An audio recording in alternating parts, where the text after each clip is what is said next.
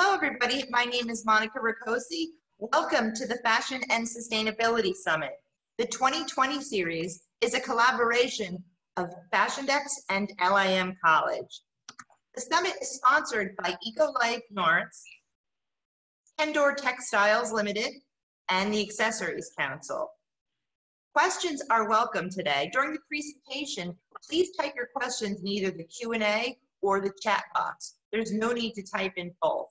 Questions will be read to speakers during the last 30 minutes of today's discussion. The raised hand feature is utilized for paid on-screen attendees only. Uh, in a minute, we'll be having a conversation on helping brands lower their impact. This is week two.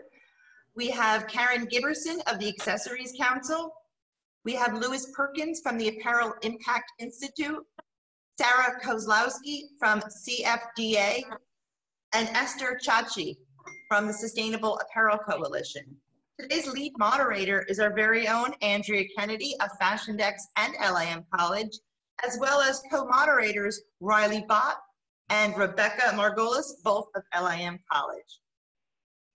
And with that being said, I would like to now turn the series over to our lead moderator, Andrea. Please take it away.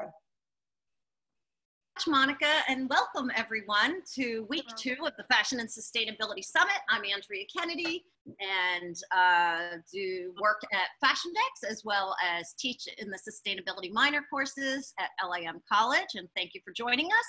I'm really excited to welcome Karen Giberson, Sara Kozlowski, Eszter Chai, and Lewis Perkins. And now I'm going to let each of them introduce themselves. So who wants to start? Good. So my name is Lewis Perkins, and I've been working in the apparel sector for part of the last 10 years, but working in um, product sustainability for, for about 15 years. And um, our organization, Apparel Impact Institute, is focused on scaling solutions that are either proven or need to be generated in order to help brands and manufacturers meet their environmental goals. And so I know that um, between Eszter and myself, we'll be talking a little bit also about this ecosystem that we belong to, the Sustainable Apparel Coalition, which we rolled out of um, in, in, alignment with the Higg tools, where um, the coalition of, of brands and retailers who are really focusing on reaching environmental targets around climate, water stewardship, chemistry, materials, and how um, we can identify the right programs and hotspots where we can um, fund and scale initiatives. So AII was generated um, rolling out of the SAC as an interested group of brands and philanthropic partners who wanted to see those programs come to life. Really from a data driven science based perspective be able to check the box on impact solutions that we're actually achieving and report that back to the industry. Everyone my name is Eszter Csicsai i'm the manager of member engagement here at the sustainable apparel coalition and SAC is uh, it's an industry organization where the apparel, footwear, and textile industries leading alliance for sustainable production. And what we do, as Lewis mentioned, is that we convene members of the industry to develop and scale the Higg Index, which I'll be talking about a lot today. And the Higg Index is a suite of tools that provide standardized measurements of environmental and social impacts across the global value chain. So in my role, I'm lucky enough to work directly with SAC members in the Americas region where we have over 100 leading brands, retailers, manufacturers, and other affiliate members connected to the industry. So I work with these member companies to scale up the usage and the impact of the Higg Index in their value chains, and to also deepen their connection with the work and the community of the SAC. So we do that by finding opportunities for connection to other members, knowledge sharing, uh, best practices sharing, and other forms of pre-competitive collaboration so we can all move the industry forward together great to be here today. Hi, I'm Karen Giberson, and I am the president of the Accessories Council, which is a not for profit trade association. Uh, we're about 27 years old with almost 350 members, companies of all sizes and categories, pretty much everything but the clothes. So, from your head, hats, hair accessories, um, now we have our new PPE category, which is hot with our masks and scarves and, um, you know, legwear all, all the way down. and thank you to LIM and FashionDex. It's a pleasure to be here. I'm Sara Kozlowski. I'm the Director of Education and Sustainability Initiatives at the CFDA, um, which I've been uh, part of the team for almost six years, but have 27 years background in fashion. Uh, first uh, decade as a designer and then as a former educator. Um, our organization is also not-for-profit. Uh, we have over 480 of the leading uh, American fashion uh, talents that you can possibly imagine from Virgil Abloh to Ralph Lauren. Uh, we're led by Chairman Mr. Tom Ford and CEO President Steven Kolb. And since we were founded in 1962, our mission has for a very long time been rooted in mentorship and education.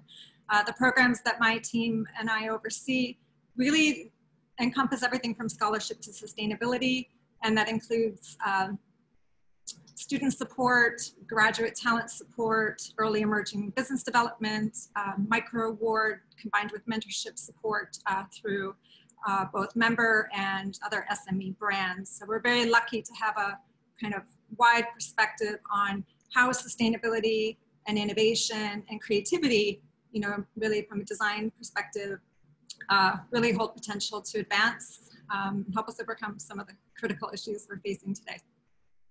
Thank, thank you all, four of you, for being here today. I love that you're a director of education, Sara, because that's the mission of our summit every year is education for sustainability, specifically in fashion. So I'm, it's great to have an, an educator on board. Well, you're all educators.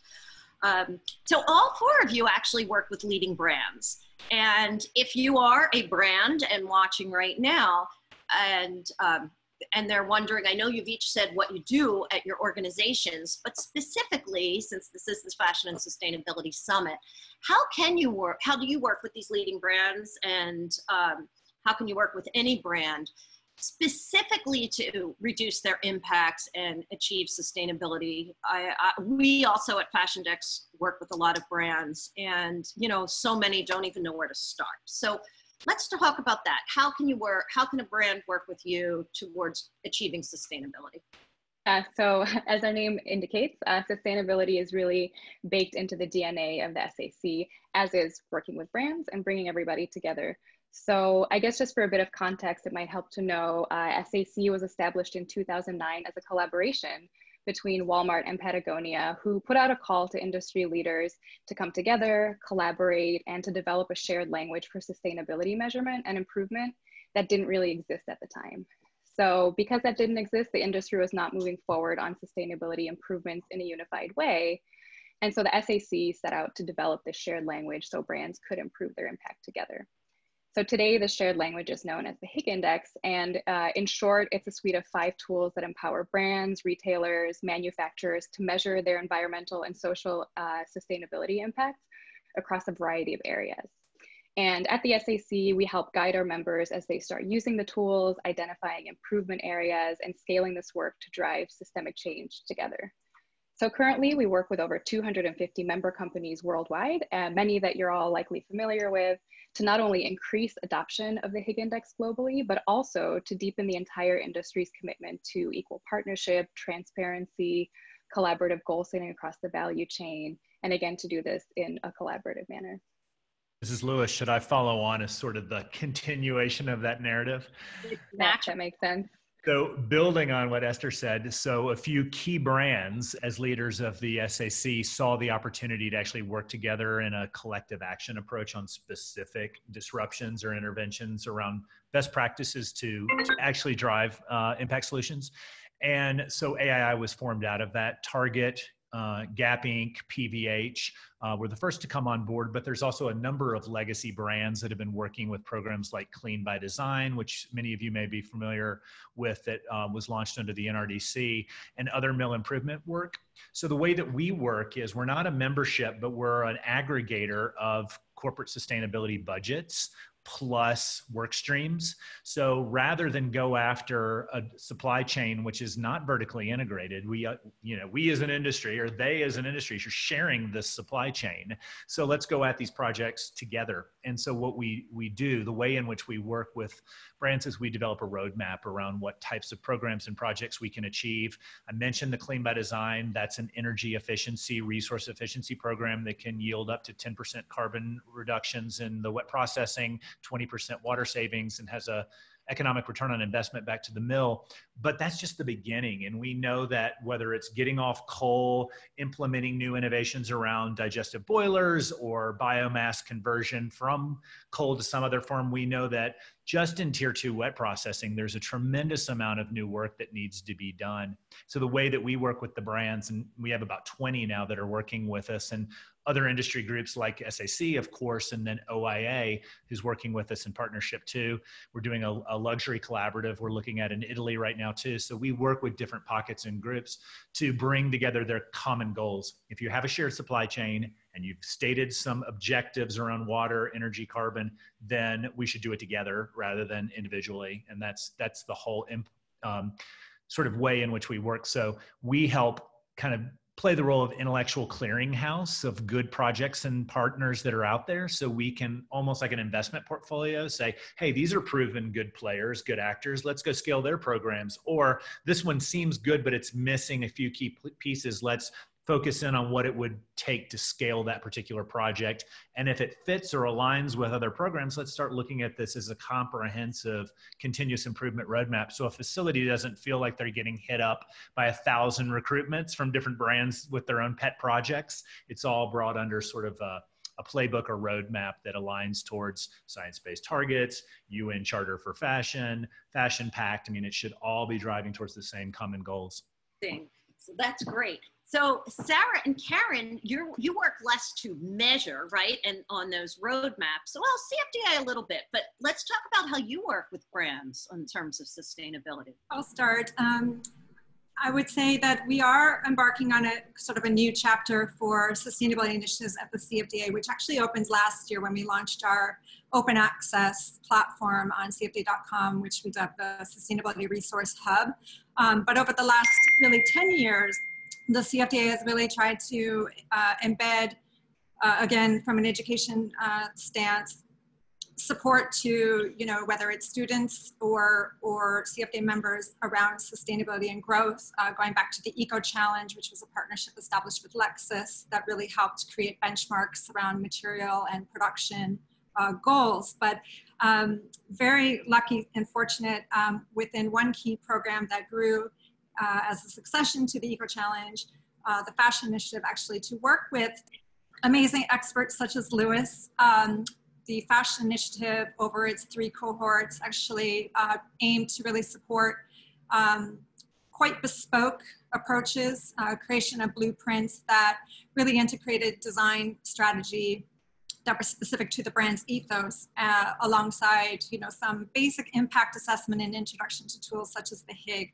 Um, and I can say that you know over that five-year period of the fashion initiative, really to see such an enormous catapult and level of knowledge from brands um, coming into the program uh, around eco-social literacy, around materials, um, but also seeing more access to those uh, resources and things that, you know, back in 2015 were almost impossible for a small brand to really get their hands on, you know, in terms of um, material innovation uh, towards last year's final cohort with uh, public school being one of the five members in the cohort.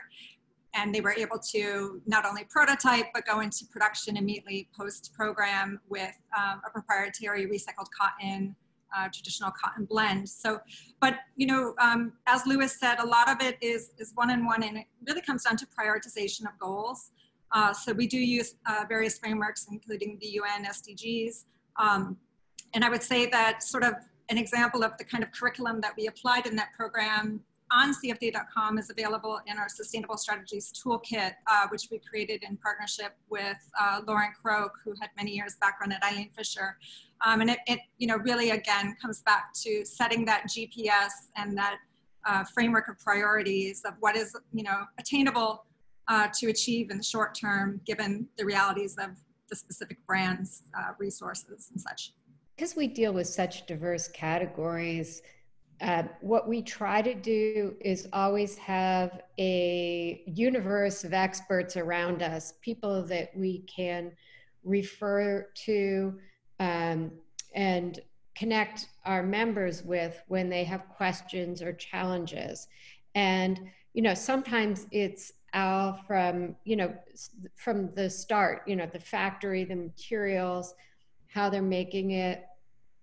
And sometimes it's simply, you know, they're working in uh, a material or fabrication that isn't yet uh, sustainable or doesn't have a, a direct answer today because we kind of think it's um, sustainability is a journey.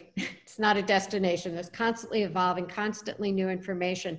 So uh, we just try to keep people like you in our universe and you know have the the helpline to send them to um, when questions come up. And you know it, sometimes it might just be we're going to make our office greener now and or our packaging. Um, so having those resources on hand is um, what we try to always do Thanks, Karen. You're right. Sustainability is a journey, and um, it's going to take a long way, long time to make the change, the true turnaround that needs to happen. But it's urgent, and we need to start. And we know that it's urgent because the UN IPCC report came out two years ago saying that by first by 2050 now by 2040 we really need to get to net zero, right? To avoid the, the, the terrible impacts that are possibly forecasted for climate change from all the scientists that are part of the UN IPCC, which if you don't know is the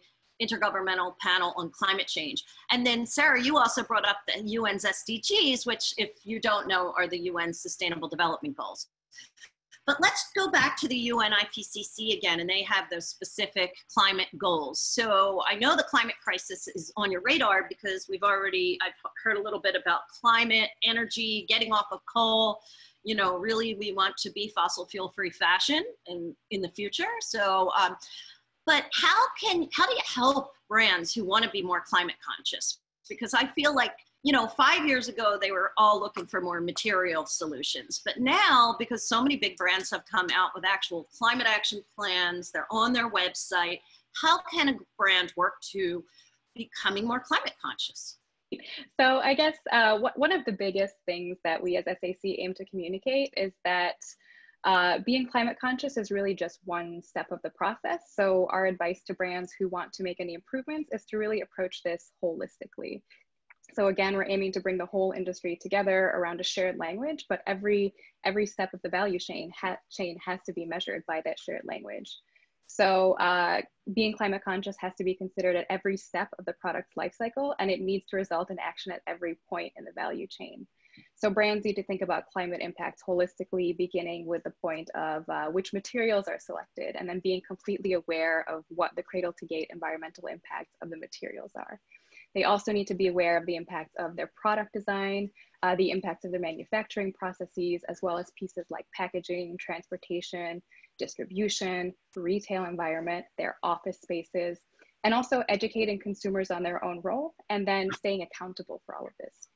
So it sounds like a lot of work, but there are a lot of tools to help take care of this.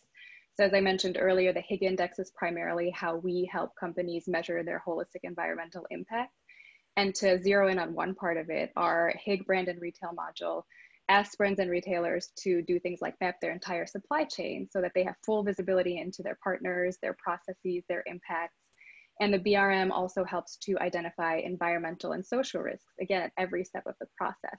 So brands are able to zoom in on, you know, deciding what their impact areas are, what their risk areas are, and then where in their entire ecosystem they need to be making improvements to have an impact. So uh, it is really a very holistic process. Yeah, I'll piggyback on that again. Uh, I think I think you'll see me and Eszter talk a lot because we sort of we're, we're, sort of tag teaming the same parts of an ecosystem. But I also want to speak a little bit to some of the things I've heard and learned at the CFDA and in the years that I've been working with Sara and her team too, which is a lot of small medium enterprise or medium sized brands will say, how do I how do I approach this? Because because I'm a small brand. I don't have a huge supply chain. I don't have the um, leverage that you know Walmart and Target and Gap you're talking about have you know, is there anything for me to do? And I think now in a current COVID 19 and soon maybe post COVID 19 environment where sustainability budgets may be restricted, restricted, you may have been 100% FTE working on sustainability, and now to keep your job, you're going to 50% sustainability and 50% some other thing. And so resources and human capital is, is at a premium right now. And the answer, I think, to that question too is plug in, plug into the SAC, plug into the uh, uh CFDA, because we're doing this in consortiums. We're doing this as groups. And if you are looking at the impact of your supply chain or you want to know it, there's a good chance you're sharing that with a larger player who is doing the analysis, who is pushing the facility environmental module FEM out there, who's working with AII on identifying and benchmarking certain facilities and I think if, if there's anything I, I hope to get across today, it's sort of the collective action. Like, let's all do this together. So if you're listening and you're thinking, I'm a small brand, but I want to plug into this, there's a, there's a great way in which you can work alongside some of the larger brands that are helping to do the heavy lifting. And I think potentially as we start to look at you know the the top brands may drive the largest concentration of the supply chain from a from a capacity standpoint we talk about sort of the 80 20 and it depends on like 80% of the volume coming from 20% of the producers or you can flip that and also say we have this 80% long tail of small manufacturers that we have a hard time identifying. But plugging into those two work streams i think is a way in which you know brands can really get started um, and and kind of leverage the work that's happening alongside them. I'd be interested to see Sara's thoughts too, because I know this is something that comes up a lot with conversations that we've had at, at CFDA meetings with brands too, and, and designers. Absolutely, and I can't agree more. It's really about um, catalyzing collaboration. I think you know we really at the CFDA try to be facilitators uh, to access, whether that's towards expertise such as the SAC and AI, or um, you know, understanding what is out there, what's in the pipeline, and then in some cases seeing little micro collaborations, uh, you know, brand to brand. Uh, and I think of someone like Eileen Fisher, who naturally kind of forged that in a creative context, um, you know, working with, with someone like Mara Hoffman, or they actually also work with public school. Um, but I think, you know, in some ways, going back to that diagnostic prioritization phase of helping a brand craft a, a preliminary blueprint, um, there's a bit of a, eval around trade-offs and sort of like, oh, it's not one or the other or either and. It's sort of like how to navigate a set of complex choice. Uh, very often materials is of course the largest area of impact, but um, it's not enough to source the most, you know, uh, carbon neutral, you know, um, uh, or hopes to be carbon neutral material out there if you're shipping it, you know, along the way, you know, to 30 places and then working in a wholesale uh, model. So, you know, I think it comes back to the business model itself and the value creation and really looking at opportunities for, you know, optimizing efficiency. Uh, the CFDA and Boston Consulting have been working together um, actually on a report tied to another part of the ecosystem, New York Fashion Week, that we'll be able to talk more about in the fall. But, you know, because uh, transportation, whether it's in, you know, product, uh, you know, logistics or tied to events um, clearly is, is a huge area and specific to events over the last few years, we've seen a shift towards carbon buybacks. I am not an expert on carbon buybacks, but um, I learned a lot in the research phase of the work that we did this spring. And, and again, it's, it's not that easy. So it's really about, I think, innovating, you know, your whole process, your whole mindset and the models of what you're doing itself. And I would finish by saying, you know, of course, we're in an unprecedented time of challenge socioeconomically, but I think we're also, as many have said in the zeitgeist, you know, at the precipice of a tremendous opportunity for transformation and this, this radical shift that we needed to have. And I'm very encouraged to see things such as, um, you know, the, the climate plan put forward by, you know, candidate Biden, um, and to see that level of integration around um, innovation and economic transformation. So I think going back to fashion, uh, you know, it's that kind of mindset that can really make big leaps in an accelerated period of time going forward. I follow all that up. Um, but one thing I'll tell you that I'm seeing that's really exciting is, you know, we have a mix of very large companies who have budgets and teams that are dedicated to sustainability. But what makes me most excited and optimistic are the young and startup companies that we're seeing. And I'm sure Sara, and you, you see it in your office. I know you see it because I've been, you know, with you.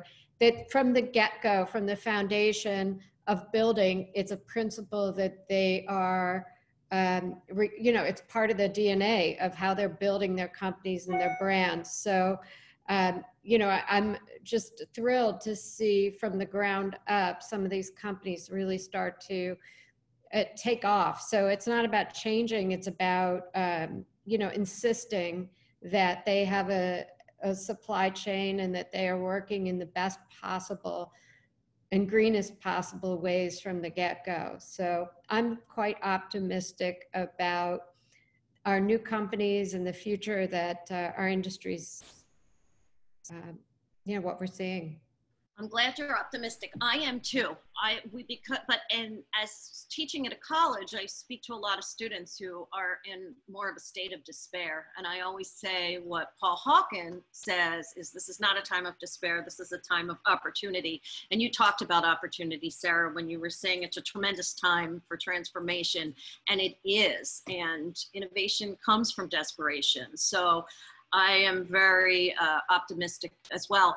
I want to just define for everyone carbon neutral, who I think, Sara, I think you talked about, you know, brands trying to get to carbon neutrality, but that is when you uh, assess your environmental, your footprint of your emissions, and then you work to reduce those and then balance by offsetting and, and get to zero. So carbon neutral means that everything you're doing that you you either reduce or offset to really have no carbon emissions in your production.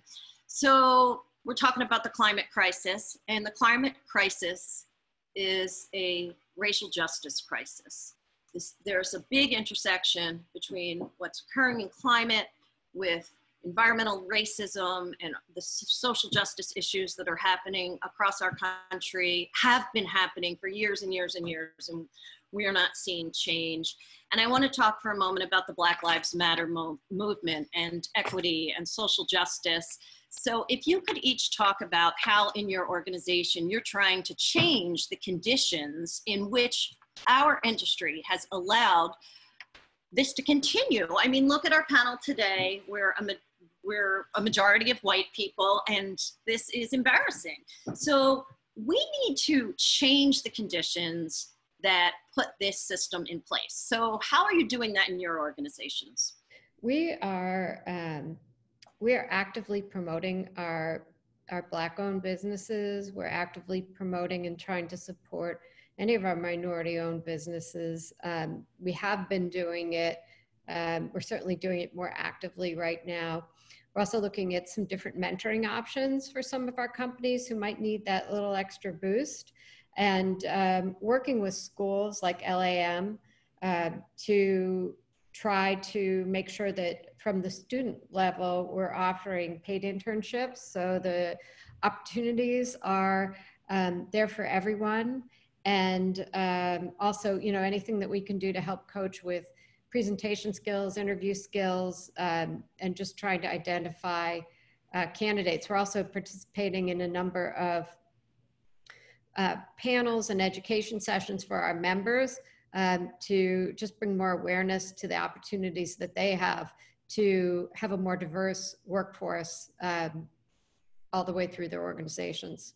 Um, I think similarly to what Karen outlined at the Accessories Council, uh, both our chairman, Mr. Ford, and, and our CEO, Steven Kolb, are, are working very hard. Uh, back in June, uh, we did release publicly a statement.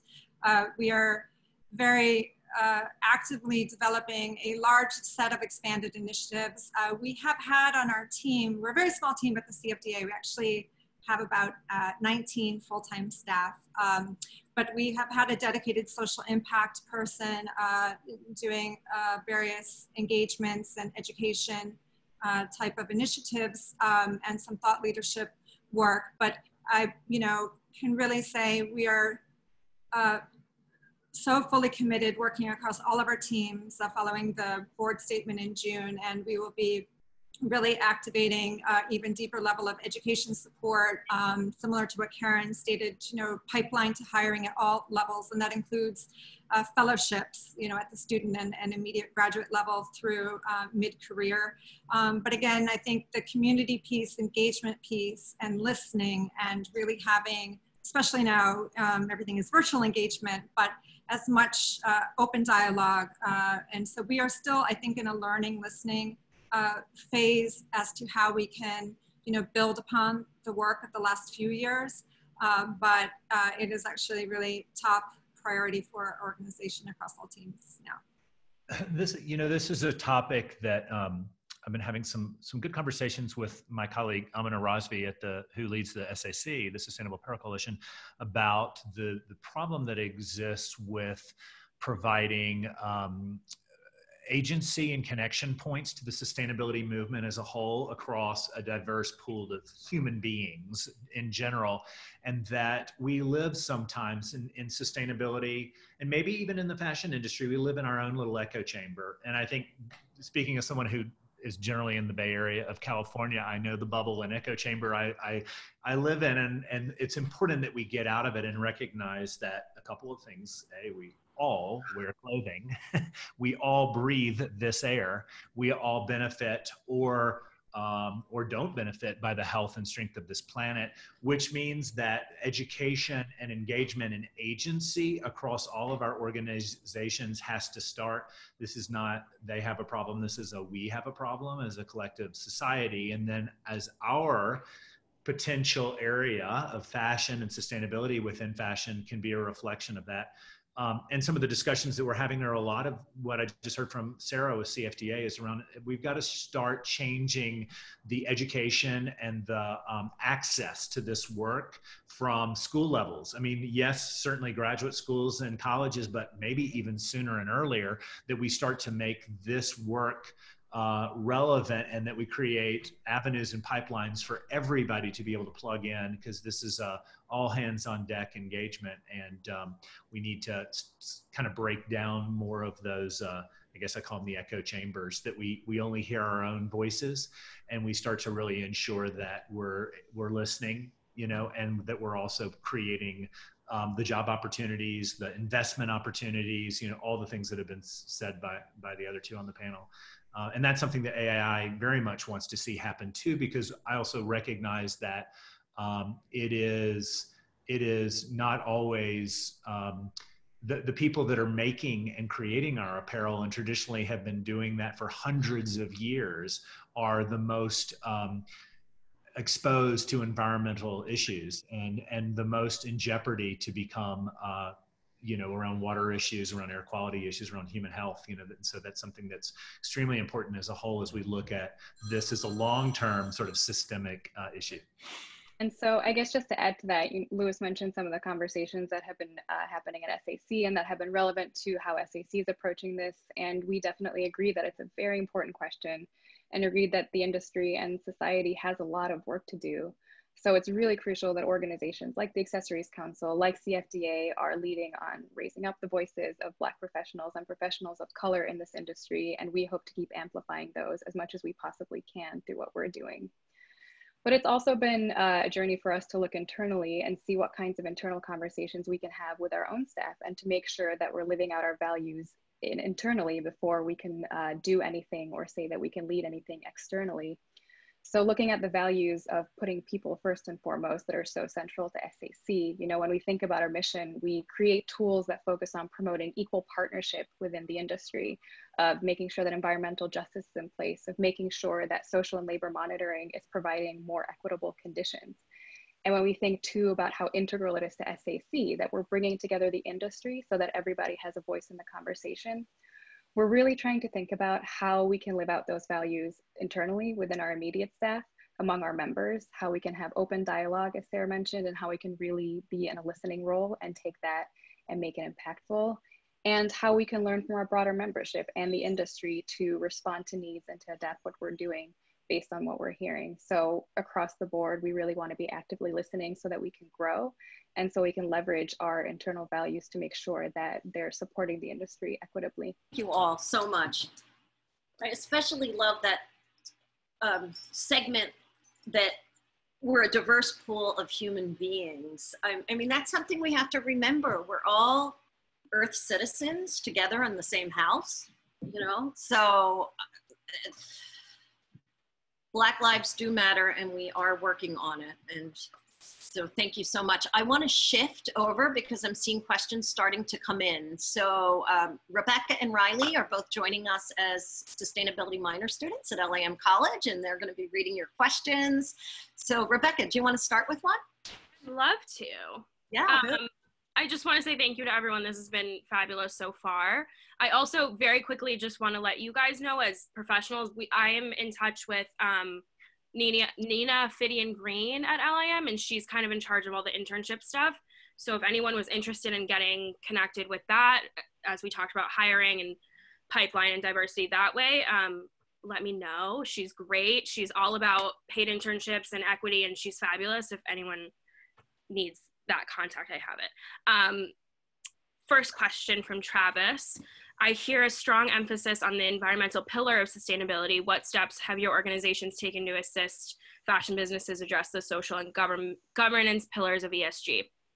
Do you see a demand for this guidance? So maybe we've kind of discussed this, but maybe more of the governance aspect. If anyone wants to speak on that. We, sorry, I'll speak to um, again, going back to, you know, we, at basic level introduce sustainability or, or reference sustainability aligned to the 17 you know united nations sustainable development goals. We are members of global compact and we use that utilize them you know in early ideation with for working one-on-one with brands. Um, um, we've even done workshops with educators often around you know isolating two to three specific goals. But uh, you know in broader sense always reminding uh, founders that sustainability is a combination of environmental, social, financial, and cultural, um, and organizational change, uh, organizational, you know, culture um, within supply chain, human capital, the value of human capital um, is always front of mind. And I think that um, actually our vice chair and longtime CFDA member Tracy Reese did phenomenal work last year um, during her residency within the Fashion Initiative uh, in that she completely reset um, after three plus decades in business, which takes you know so much uh, strategic foresight and, and, courage to change everything. And a lot of that focused on the people piece of her organization and then production. Uh, she reshored um, a percentage of her production um, to not only New York, but also to Detroit. She's become highly active in that community, chairing the Isaac you know, Innovation Committee, but also working with uh, uh, schools within the community. Um, and that type of leadership uh, is, is so inspiring, I, I think, for uh, as a staff member, very inspiring to see. But I, I, would just emphasize that you know we never de-strand you know one part of the conversation. Uh, you know, people, environment, uh, you know, human capital. Um, has to be, you know, front of mind. So we always try to um, navigate thinking holistically. I would add to that also. Um, the governance portion of it is super important to the the holistic model that I was talking about initially. Is that you know you can't have environmental sustainability without making that your own without making sure that your own internal structures are in order. So a lot of the tools that we have do help uh, brands and retailers deal with that too. Our brand and retail module, for instance, does, you know, it involves the HR department of a company to make sure that there's fair compensation in place, to make sure that there's fair internal governance in place. And that is, that itself is a social risk area that a company can choose to focus on. And so again, you know, we always say at SAC that you can't change what you don't measure. And this is definitely something that needs to be measured in lockstep with the environmental and the social, it's all part of uh, making progress in a sustainable way. Awesome, thank you. So the next question is coming from Donna, and she's an independent artisan jewelry brand. So she's wondering what is the best way to market socially responsible positioning? There. You know, I, I think that one of the cool things about brands that are starting out sustainably is the amazing storytelling they can do with how they found their materials or how it's made and the process. And I think that people are really excited to hear and learn about um, the products. And, and more than ever, and particularly in jewelry, uh, people want to connect to that brand. So use your story. Tell them, you know, how you found your material, how you found your craftsman, um, what you're doing special for your packaging or um, selling it. And, uh, you know, the beautiful jewelry and a beautiful story is a winning combination. I'll add on that. I, I, fully agree. And I think we've jumped over a little hurdle that the apparel, footwear, accessories industry has had, which is particularly for those that are publicly traded and looking at sort of ESG approach towards environmental social goals. There's there's been a hesitancy hesitancy sometimes. Well, if I talk about the good things I'm doing over here, somebody's going to learn about this issue in our supply chain that we haven't yet solved for. And there's been a hesitancy sometimes you know it, it's it's one end to the other. Either we're greenwashing and making a big deal out of something that's not big impact and we're worried we'll get exposed or you know we're we're saying look how great and green we are and meanwhile we know we haven't solved for this major issue I think fortunately the the apparel sector has been able to move past that. And it is about being authentic and transparent in that tone of saying we have a story to tell because this is an important uh, part of our brand as a whole. The decisions that we make around materials, the decision we make around labor, uh, who we're employing, how we're employing them, where we're sourcing from is part of our ethos, which means it is part of our brand. And it is what increasingly consumers are inspired by. And in this sort of um, I think we're we're all sort of looking for this holy grail of the next generation to help drive this through consumer demand of we won't buy this stuff but we'll buy this stuff. And uh, as we lean into that the storytelling and the marketing of the good decisions that are being made is going to be critical because I think citizens as a whole will be inspired to continue to invest with their own personal dollars or other in other ways with things that that are resonating. And so I just want to echo what Karen said because I think every uh, brand out there should, if they're doing something good and responsible and they're proud of it, they should attach that to their brand story. I guess my next question, this is not from the audience, this is from me, but I guess as a student, like Kennedy was saying, it's kind of difficult. There's this balance of hope and um, staying positive. Um, do you think, from a industry standpoint, do you think that these up and coming brands that are uh, the sustainability is in their DNA, like we said, do you think that they will be able to financially succeed the huge powerhouses in the industry? Do you think that they have the power to kind of gain that market share and gain that uh, momentum? I don't. I mean, let me say one. Oh, go ahead. Go ahead, Sara. Uh, I, I, I do. I mean, I think we're seeing a shift right now in what customers, you know, what they want and what they want to buy um, and where they're buying it from. Some was happening before all of the stores shut down for sure. And, um, you know, certainly a lot more is happening now. Um, I, I think that we're going to see a lot more specialty brands um, out there. And you know maybe they don't become the big mega companies that exist today but i think there's going to be a lot of very healthy and profitable smaller businesses. Um, and i think that when there's challenging times, there's great opportunities. And we're seeing people innovatively connect with customers. I'm seeing people sell things on Facebook and doing live videos and, um, you know, hosting virtual trunk shows and doing them very successfully. So, uh, you know, clever, those who are clever are going to be able to figure out how to grow and sell their brands. And again, back to the storytelling piece of it, um, you know, this is, uh, you know, it's just the whole social responsibility piece is so important right now. Um, so yeah, I think tons of opportunity out there. Go for it. Yeah, that's that's exactly what, what I was going to say too, because I think that a lot of the things that the industry has been looking at and investing in are going to get accelerated. I mean, we've almost like jumped forward by you know I don't know how many years, but it's like these were all smart ideas working from home and direct to consumer and over jumping over the, the traditional retail and going right. You know, but now it's not only a necessity, people are going to be looking for ways in which to kind of expand their own product and product offering or service offering in a faster way. And so when you look at some of the models that big brands were even looking at that were disruptive, like share, repair, circular models, all of a sudden you have this opportunity for smaller brands to have that leadership position they don't need to be it doesn't need to be a project inside a big brand and you and look at um, personal care products and and consumer packaged goods and companies that authentically started like method and burt's bees and all in that now they are part of larger multinationals but they started as a disruptor they started as something different that stole market share from a traditional soap or a traditional face cream and that's i think what we're going to start to be able able to see more of. And so, for any of the young designers or emerging brands or students that are out there listening to this, like you got to go for it because you you have the opportunity to disrupt um, the existing models now more than ever.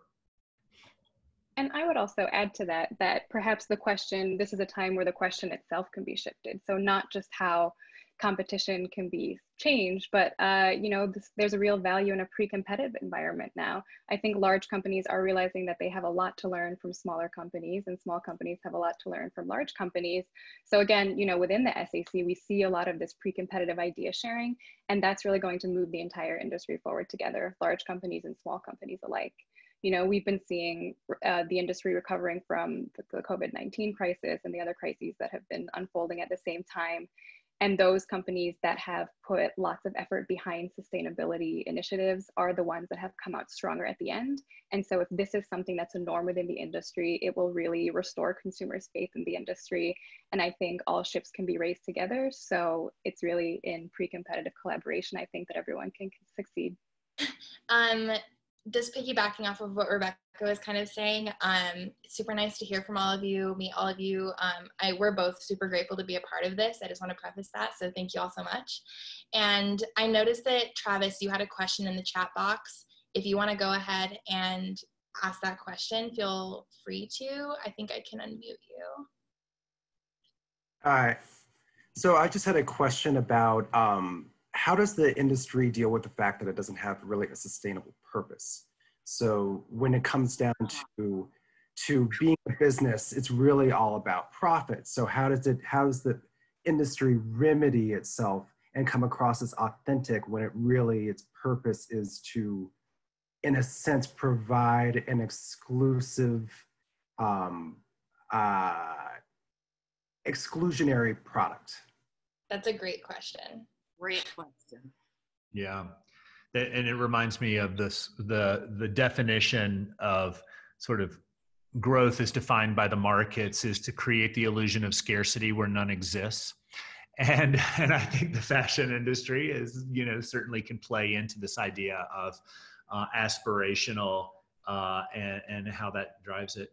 But but then my thought also becomes: Is this a moment where where we get back to the origin of why any of this matters. What is the purpose of textiles? What is the purpose of personal um, statement related to how you adorn yourself, how you um, invest in things that make you feel good, you know, uh, uh in your home, on your body, etc. And I know that sounds a little, you know, uh, a little woo woo, but the reality is, I think as a society as a whole, we're rethinking of values across all of these issues that are we've been talking about today, from coronavirus to social justice, Black Lives Matter. We have a moment to really evaluate our values, and if a brand does not, in some way, or a designer or a product doesn't in some way support our own personal values, then do we need it? You know, is it necessary? And I think this Darwinistic shakeout of our industry is going to be happening as a result of economics and as a result of access and and um, some real significant uh, drivers that are stopping you know production and consumption and that's a good thing so that perhaps uh, you know the optimist in me thinks maybe we need to get back to why this as an art form and as a personal statement of who we are you know matters and then look at how that also creates livelihood and economic development as a component of it. Because we we want to keep the world employed and there's a tremendous amount of people out there who can be part of a vibrant profitable industry but but we probably need to rethink why it matters and then build from there. It was great lewis. Thank you um, I'm going to pull one question from the Q&A box. Um, Liza has a really good question, so I'm going to read it off really quick. I know sustainability focuses on the environmental piece of creating fashion, but does any of the work you do incorporate labor issues facing the fashion industry, such as poor conditions of the factories, abuse of the workers, low pay for hours of work? So I think that she's just kind of asking, what does the other side of that look like? I know that we discuss it's kind of a triangle of ethics, economics, environment. So what does kind of that ethics side look like? Um, I, I, can speak to that uh, first. So within the Higg Index model, the tools, we have uh, tools that measure environmental sustainability and then also social and labor practices. So that is at every step of the way, you know, we're working with manufacturers, working with brands, we're working with retailers. Um, we're measuring environmental and social and labor practices at the same time. So it's really important uh, to further sustainability measures, again, to have this idea of this environmental justice, the social and labor practices being monitored, to have those with a continuous pathway for improvement as well, because you really can't have one without the other. Um, and so it, it's very important in identifying risk areas within a company and to see where the environmental and the social elements of that are and how, again, companies can improve and make sure that they're continuously improving. Excellent. Thank you. So I just looked at the time and I'm realizing we're almost out of it. So let's finish with one more question for all of you. And it's going to be a multi layered question because I'm looking at the chat box. There's some we didn't get to answer. Um, and uh, some I still have. But if you could answer, uh, let's really talk about a solution because I feel that that's what people need. Although, is there ever a solution when every solution creates another problem? Because even you know what you talked about travis is that we're ultimately an unsustainable industry as as it is modeled on now right? So if we st- stop consuming or producing less like lewis said we put people out of work. And then they have pe- the people the, that have those jobs have less disposable income to to spend in their own communities. It's all connected. But if you could each share a solution either to how a brand can implement a circularity process and be part of the circular economy, or how a brand can um, uh, do something with all of the inventory they may still be sitting on because of COVID, or um, any other thing that you suggest that a brand can start and do in terms of sustainability where it's not going to cost them a lot because there's always someone at the table, at least when I work with brands, who says that. It just can't cost me loads, right? You know, we can, it can't. So either something that the, a place they can start that does that does have a quick ROI, um, or circularity, or selling model with this inventory. Any of those, please. And this will be our last question. So we probably only have about a minute or so each. I'll go first and invite um, those who haven't seen it again to go to CFDA.com. We did a toolkit in partnership with NYU Stern Center for Sustainability last spring, and it was really rather a quick wins toolkit uh, that designers and small brands can use as examples of like, you know, uh, uh, easy, intermediate, or advanced actionable steps you can take. So it really distills down some key strategies. Um, a lot of them relate to to you know materials or to product, but it kind of at very least gives you some road, you know, very tangible, like, oh, here's what I can do, and hopefully you can build upon that. I'm a big personal proponent of, um, you know, building on the discussion around you know the, the the pipeline of, of new SMEs and that they're building you know they're always agile. That's the benefit of being smaller. You have um, ingenuity and agility on your side. But looking for ways to think beyond product you know in your value proposition or creation um, you know in other sectors for many years um, there's been a service shift. And I think it's exciting that fashion is um, also looking at opportunities to have combined product service offerings or experiential offerings because I believe, as Lewis was saying, you know, we do want brands to be financially profitable, but also socially and environmentally conscious. And sometimes it does come down to looking for revenue opportunities that are, you know, maybe less product based. But um, that's just an opinion.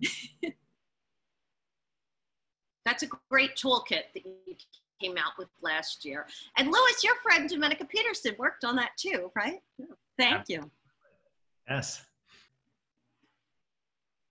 Um, I'll, I'll jump in and piggy, piggyback on that note. I think, I think, you know, getting started, um, figuring out where you are on your journey. I mean, if you're, if you're, you've been paying attention and you've been part of the conversations and all, then you're ready to like dive into some impact projects. And, uh, and if you're new to this, then it's like get interested and get engaged in the organizations we all represent. You can you can sort of plug into because we're all doing work we're making transparent and available uh, out there. Um, and then I'd say in terms of picking a specific activity, you know, it's really I think to authentically attach your interest to what you want. If materials are it for you and you are in love with materials, then go after materials. Work with Textile Exchange, work with some of the work that's been identified by CFDA. If you are really a climate activist going after climate and you want to reduce it in your supply chain, come to AII, work with SAC and the FEM, you know. So I think it's, I think for this to be successful, everybody needs to plug into the piece of this that makes them most passionate and alive because that's where you're going to have most fun doing it and the reality is you could go in a thousand directions and they're all going to be positive impact but you know go where you feel the most driven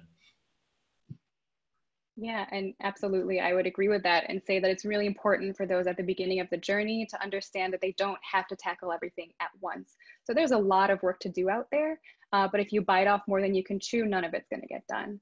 So what we've seen, uh, you know, using the Higg Index over the last couple of years is that so many elements of a product's lifecycle are interconnected. So if a company, as Lewis said, can find one area of the process that they're really passionate about and one piece where they can start, that will often reveal several other places where there's already a building block in progress for them to work with. So, you know, as I said earlier, you can't change what you're not measuring. So start by looking at where you have data and dive in there. So whether you're starting to map your supply chain, and see what you can do with that. Whether you're doing a social or an environmental risk assessment and seeing where your hotspots are and where you can already improve. Whether you're uh, using a tool like the Higg Material Sustainability Index to map your materials portfolio and see what your emissions look like as connected to your materials, you know, you can start somewhere, but I think the message really is that you do have to do something because it's crucial to the survival of, of the industry and to any company to, to do something and to get started and look to the long run. Exciting thing right now is there's so many educational opportunities out there. Like the series you're doing, everybody that's here is already taking a step and investing in learning more. And um, you know, fortunately, there's a lot out right now that doesn't cost anything um, to to just learn about. And I think uh, someone mentioned it, but every little step counts. If you can't fully transform your company right now, you know, and you can take little tiny steps, um, it, it does make a difference. Um, so, you know, even if it's not something that you feel like you can, you know, raise a flag about and start to talk to your consumers, it, it might just be a tweak in your packaging that saves, um, you know, that saves a lot of money or, or reduces waste um, they, it all adds up. So you got to start somewhere. Um, and if it's a small step, uh, it's a good step. The inventory thing, um, nobody answered, so I'll answer that. We are seeing some really creative solutions to um, inventory. I, I, one of the ones I was most excited about, we saw a big brand um, make a large donation to a charity called Delivering Good that um, you know, gives it to people that are in need. Um, and some of these brands who are starting to make donations like that are not brands that you would have traditionally seen uh, donate the product. Um, I, my heart was warmed when I read that article about the size of that kind of donation. So we're starting to see some, um, you know, really innovative uh, solutions to, um, you know, what they have on hand and I think going forward, um, you know, what we're certainly seeing is more modest orders. So um, I don't, I think people are mainly just ordering to, um, you know, producing to what's ordered. So hopefully there'll be less inventory around um, to clog up the system going going ahead. Thank you so much. Uh, thank you, Eszter Lewis, Karen, and um, Sara. Where is Sara? Oh, okay, I missed Sara. Okay, Amy from uh, LIM, take it away. So first I want to thank Eszter, Lewis, Karen, and Sara for participating in today. Everybody was wonderful and incredibly informative. And I think for those that are watching today, there's some really great messages just to summarize here in that if you're a small business owner, you're a brand owner, big, large businesses, or just a learner of sustainability and sustainability in terms of practices, it was really incredibly exciting to hear how each of your organizations is really taking on a collaborative approach within the industry and supporting each other within the industries, but also a progressive approach in educating the industry. And, and I think what's very important for so many here that are listening today is there's so many tools and resources that each of these organizations provide and a community. And that's really a very important part of what's happening. And we really, as a community, not just from a college and an educator's perspective, but from an industry perspective, that we need to support each other through this journey. And I think, Andrea, you said it very well. It's, it's really a journey, it's not a sprint. And um, there's so many exciting things here for people to really latch onto. And thank you all again so much. I'd like to turn this over to Monica. And Monica has a few words to say before we close out. Just trying to for load. Uh, I'd like to thank our sponsors, Eco Life Yarns, Kendor Textiles, and the Accessories Council. If anybody's interested in becoming a sponsor, please reach out to myself Juana or Gladys, you can find our email and information at fashiondex.com. I also wanted to mention that coming up on July 21st, Local Loft at Texworld will be having the virtual edition. Uh, is the sourcing event of the summer. You can find the information at fashiondex.com forward slash register now at uh, HTML. Uh, also, this was brought to you by Fashiondex and LIM College. Fashiondex is the publisher of the Fashion Designer Sustainable Sourcebook, and the latest edition is available at fashiondex.com forward slash store. Finally, I would like to invite you to uh, join us next week, week three. We're going to be having a conversation on sustainability and sourcing with local and domestic suppliers. The lead moderator is Sue Papas of JS Group, Co-moderator will be Austin Sierra, an LIM, uh, LIM college student. Our speakers will be David M. Prentice of On Point Manufacturing, Jessica Osborne of Privy Label, Divya Lumba of Eagle Fabrics, Anna Livermore of Vimora, Jenny Side of InStyle Exchange, and we hope you will join us. Enjoy the rest of your day.